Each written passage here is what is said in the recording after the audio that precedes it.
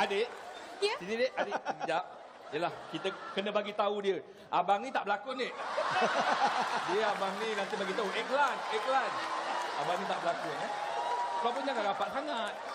Ah, okey okey. Okey dah, dah. Buat-buat macam tak nampak. Okey. Eh, Dia kirim kunci je. Oh, Yelah. bagi kunci rumah. Ha. Ah, okey. Tapi hati-hati tau. hati-hati.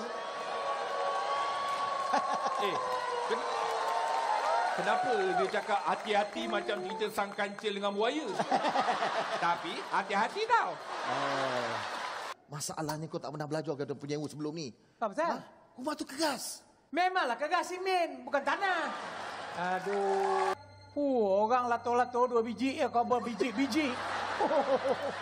Dia pun tak senang. Aku tak sedar hati lah. Lah. Aku macam ada bau...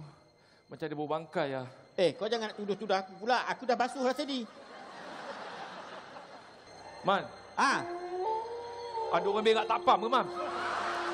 Boleh saya pinjam air kejap untuk saya nak basuh muka? Apa boleh boleh boleh. Biar saya tahu yang ni bukan mimpi. Ah,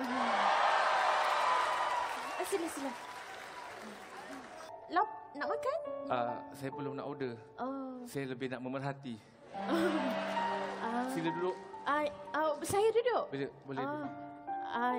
Ah, Boleh kenalkan Ah, diri awak siapa? Saya tak pernah nampak orang secantik ni sebelum ni. um, Saya Johan Oh, Johan. di hati awak.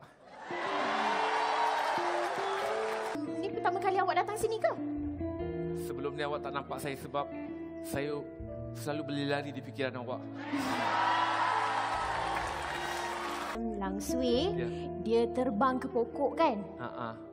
Awak terbang ke hati saya. Astagfirullahalazim.